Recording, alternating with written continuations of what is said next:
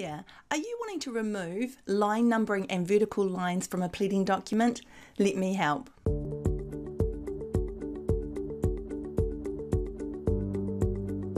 Hey, I'm Sharyn from Excel at Work, where we offer straightforward, non technical assistance to help you get the most out of your Microsoft Office documents.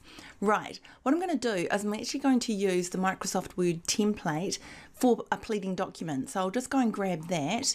Um, I'll just come over to the File tab, go to New, and I've actually got it right here. But if you've never seen this before, you can just come down and search on pleading. And what you'll see is if I just click onto here, it'll actually show you that it's got a template ready to go with the 28 lines inside of it. So if I click on to create, there we go. So the thing about these lines, the vertical lines and the numbering is that they actually live in the header of the document.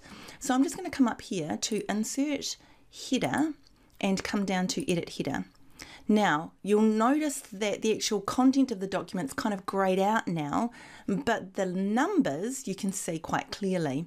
And if I come and click over in the number area, you're going to see a wee box around the outside of the numbers and it's dotted. So what we've got here is those numbers are actually inside of a text box and that text box is actually anchored inside of the header area. You can easily edit inside this box if you want to, so you could actually just delete out all the numbers, but it would leave the box there.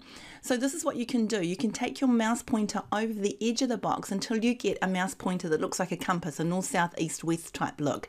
When you click, you will see a solid line around the outside of that text box. Now all you have to do is press your delete key. Gone. Okay, so that's the numbers gone. And if I come over to the vertical line, same thing.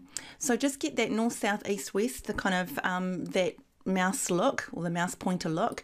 Click, press your delete key, and there you go, they're gone.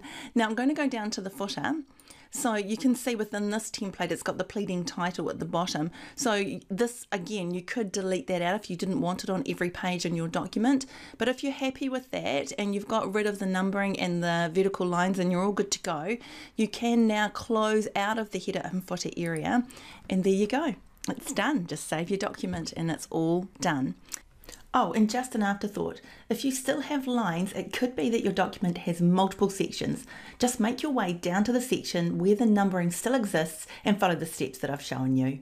So I hope that has been helpful and fixed your problem. Please let me know in the comments below if it was helpful and give it a like and have a fabulous day.